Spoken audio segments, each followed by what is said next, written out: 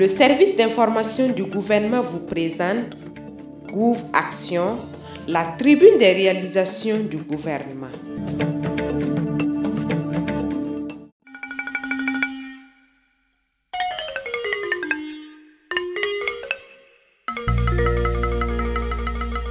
Le calvaire des usagers de la route Coupela Tenkodogo Bitou 50C relève désormais du passé. Longue de 150 km, la route nationale numéro 16 a été entièrement réhabilitée et renforcée pour le bonheur des usagers. À travers cette réhabilitation, le gouvernement burkinabé vise, entre autres, à assurer un meilleur échange entre les provinces du Kouritenga, du Boulgou et du Koulpelogo, à améliorer la sécurité des usagers, à contribuer à l'accroissement du trafic dans la zone du centre-est et à réduire le temps de parcours entre Koupela et la frontière du Togo d'environ 30% et les coûts d'exploitation des véhicules. Cette initiative fait la fierté des autorités communales du centre-est. La réhabilitation de la route euh, Koupela, Tenkodogo, Bitou jusqu'à la frontière 5C voilà, donc, est un ouf de soulagement donc, euh, pour nous. Donc, en ce sens que la route était complètement dégradée et que euh, à chaque instant nous constatons des accidents. Il y a également beaucoup d'usagers aussi qui empruntaient cette voie à cause euh, donc des villes frontalières telles que Togo, Ghana. Il y a également euh, l'aspect double voie, donc qui n'a pas été pris en compte au début, qui à la dernière minute a été pris en compte et ça a permis en tout cas euh, à la fluide circulation donc dans la ville de Coupéla. On a bénéficié également des lampadaires, donc ça à l'éclairage public donc, sur cette voie. Voilà. Il y a également que nous enregistrons moins d'accidents. Au niveau des usagers, je leur demande voilà, donc de prendre soin ensemble avec euh, les différentes collectivités, donc traverser donc, de cette voie. Donc, il faut circuler voilà, en respectant donc, les cours donc prescrit voilà, donc, sur la route. Au centre urbain, il faut aller à 30, 40, 50, voilà, donc hors agglomération.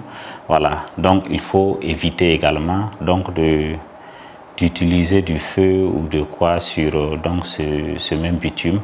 Voilà, donc c'est dans tout ça qu'on peut peut-être donc entretenir pour que cette voie soit durable.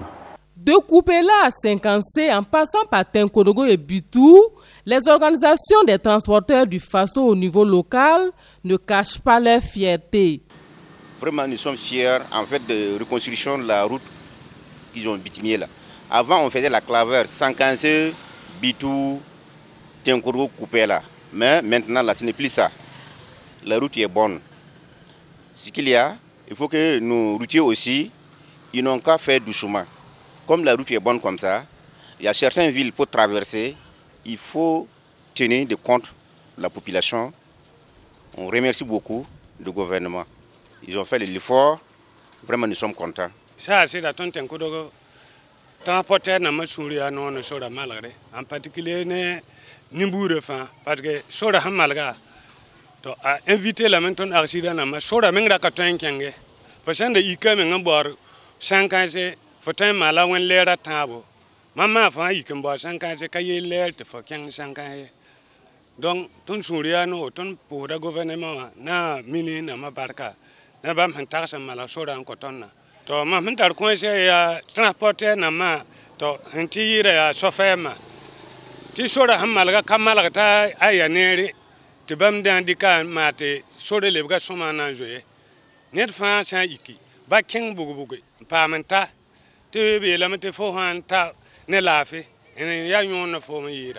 Si les transporteurs saluent tous la réhabilitation de la route nationale numéro 16, ils déplorent le nombre élevé de ralentisseurs, ce qui n'est pas partagé par les riverains de la route. La route coupée là, Tengodo 50 maintenant ça va, c'est bien, mais les difficultés là, c'est les terrains là, c'est beaucoup. Tu as appuyé les freins, appuyé les freins, souvent toi-même tu vas aller fatiguer, ça casse la pinée. Bon, il y a trop de choses quoi. On casse les pneus, les, on est, ça casse les cheveux, bon, bon, ça nous, bon, ça nous fatigue vraiment, voilà. C'est dans les grandes villes, en rentrant et en sortant, qu'on doit me ralentir. Mais même dans les petits villages, il ralentisseur. Même si quelqu'un met son petit cœur seulement, mais ralentisseur. Non, c'est pas bon. Je suis content de la nouvelle voie. Mais il y a une chose. Manque de gendarmes couchés en pleine ville. Il y a des accidents nous vivons ici. Nous voulons que ceux qui ont fait le travail ils nous aident avec des ralentisseurs.